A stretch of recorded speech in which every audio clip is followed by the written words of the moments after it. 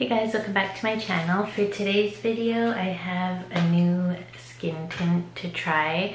It's the Danessa Myricks Beauty Yummy Skin Serum Skin Tint. And it says Hydrate Smooth Correct on the box.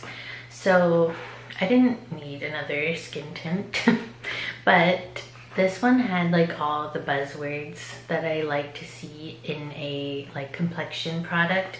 So I actually I've had this like a day before that it officially launched because it was a Rouge Access like when they do that thing where you can buy it earlier. So I bought it on the first day that I saw it. That's how intrigued I was about this. Um, but I haven't had the chance to try it yet. So what it says on the Sephora app, the full like name I guess is Yummy Skin Soothing Serum Skin Tint Foundation with peptides and ceramides.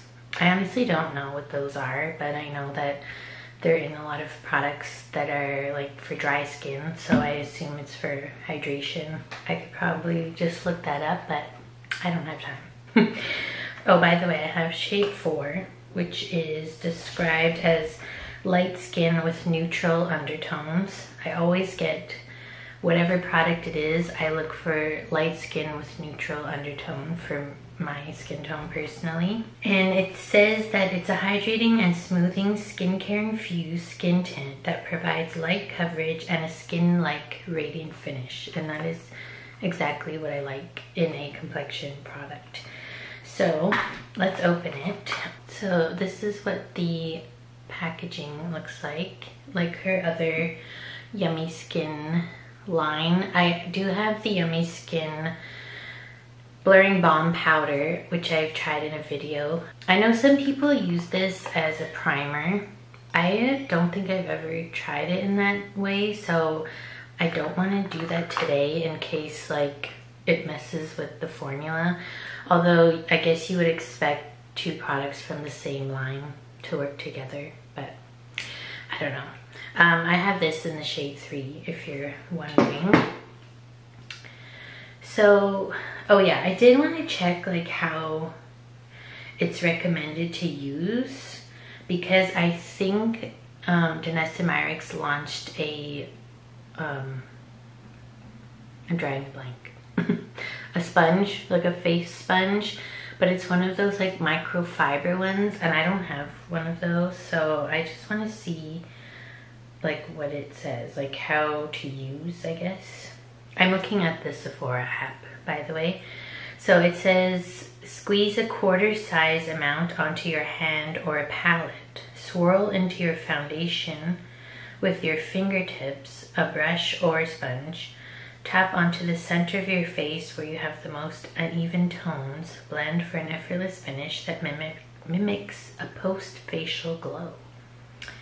Okay, so it doesn't, seems to not matter how you use it.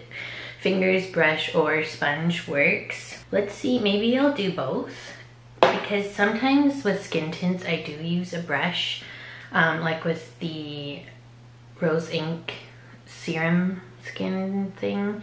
I use a brush. Um, yeah, maybe I should do like half and half. So let me get my sponge and my brush and we'll start applying this. Okay, so I'm gonna try it with my LYS foundation brush, which is like my new favorite foundation brush. I got it from BoxyCharm. Um, and then with the other side, I'll just use the sponge I'm using regularly. I actually don't know where this came from. um, but it's not my, I don't like it anyway. Like it's too, it's not like pouncy enough, that's a word. So yeah, um, let's just put, I don't know, a quarter size sounds like a lot for me for skin tint. Uh, by the way, it's one of these like squeezy tubes so let's just start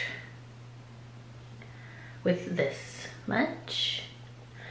I hope that's the right shade. It looks a little deep, but it's a skin tint, right? So it's not gonna be full coverage anyway. So let's do this side with the brush. By the way, I'm not using a primer at all because I I don't know which primer I should use with something like this and I don't want to mess anything up and then not know if it's the product that is not working or the primer or the combination, you know what I mean? So let's just go right in with this. Oh, that is very, um, very light coverage. Oh, there's a hair on my face. Okay, I, maybe I do see why they said a quarter amount because I've already used up all of that. Let's make sure to get it everywhere. Oh, that is like a good match though.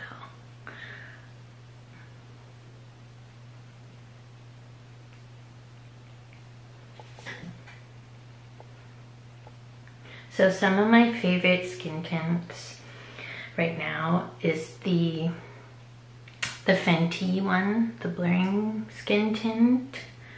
What else? I do like the Rose Inc one too. Um, I just find like I can't use too much of that one. So let's see how this compares. I think, yeah, the coverage is very light. Like I can still see my like freckles and, um, you know, some redness, but I didn't expect it to cover all that because that's not what it's meant to do. But it does have a nice, like, as it says, radiant glow. Um, yeah. Okay, so far so good with the brush.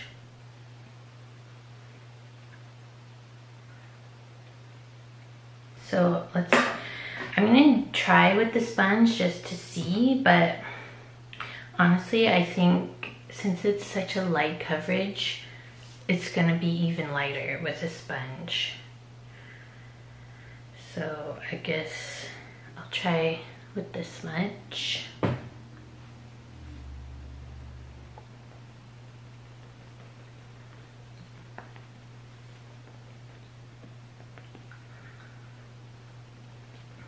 Yeah, I think I can already see like the sponge is pressing the product more into my skin. Whereas on the brush side, like I can kind of see like where the makeup is, although it's still like a really um, natural finish.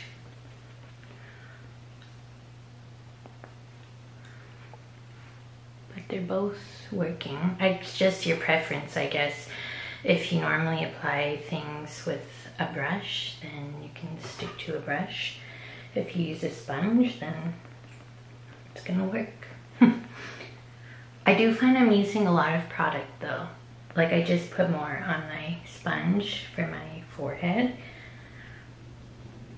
And with the Rose Inc one, I use like one pump and it's like tiny amount. Sometimes I do like another half pump, but not more than that. So maybe you'd go through this quickly if you're using it every day.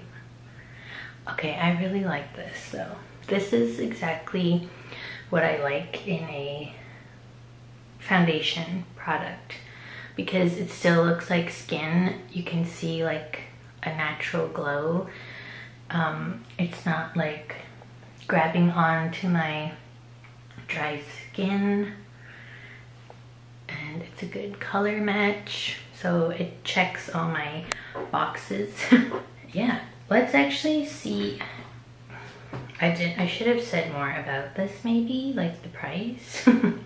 So this is it's $48 Canadian which I guess is kind of up there but normal for Myricks um, pricing I would say and let's see the shades yeah this shade range is really good, I would say, for a skin tint especially.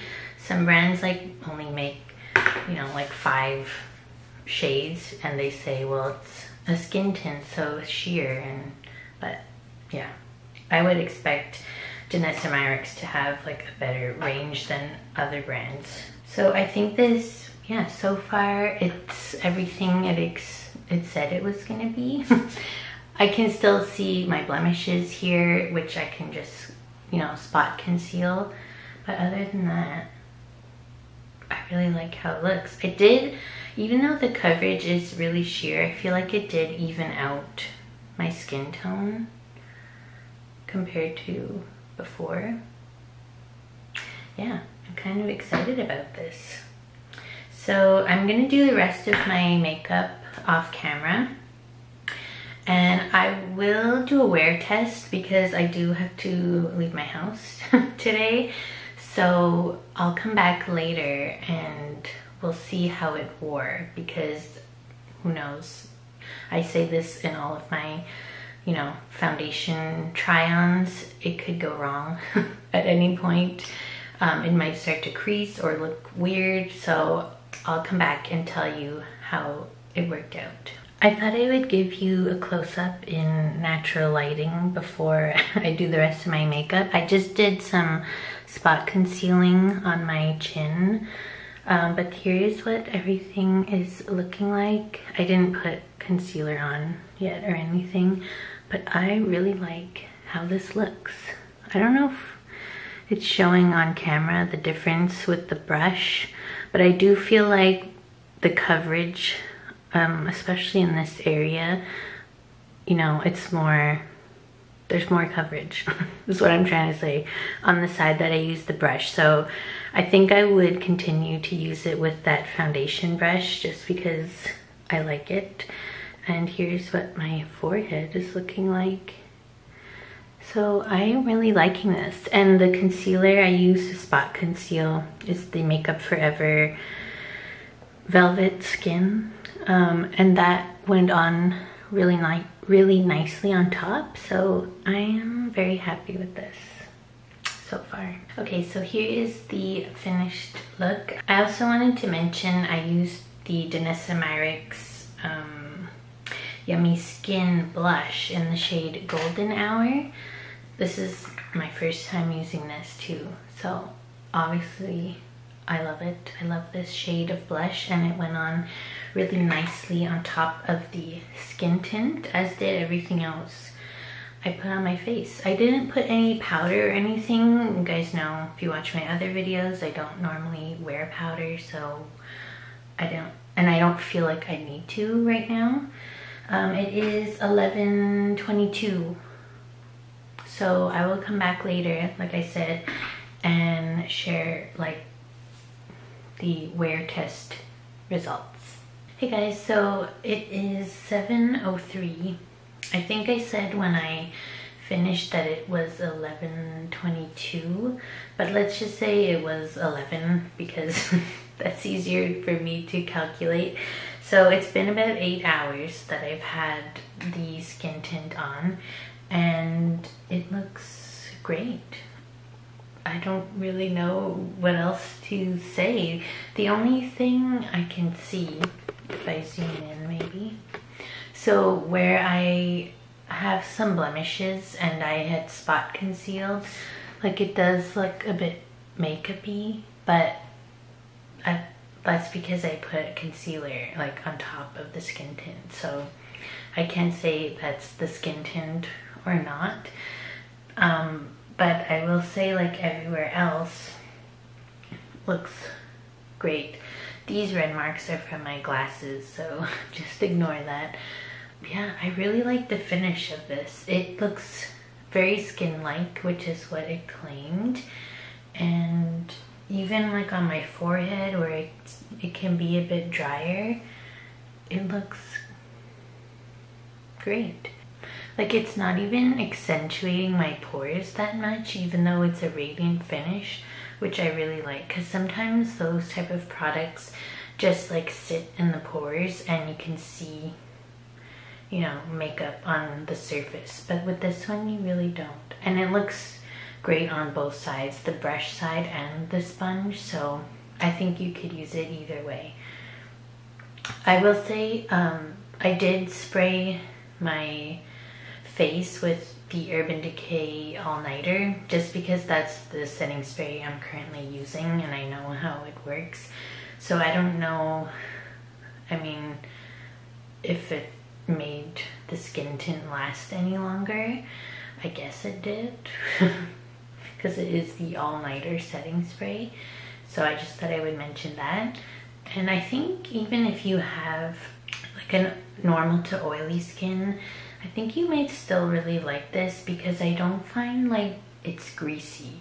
Like you can see that it's radiant, like there's a glow, but it doesn't feel like heavy or oily. So I really like this one. I'm gonna keep using it, of course. This was um, like a wear test, but still a first impression. So I'll keep using this and compare it to products I already have. But so far, I'm really liking this. And you can see also, side note, the blush is still on my face, which is great. So yeah, I think that's everything. I'll zoom back out yes so i hope you liked this video i hope it was helpful if you were considering purchasing this product maybe it helped you make a decision. So if you like this video give it a like subscribe if you haven't already and i'll see you in my next video. Bye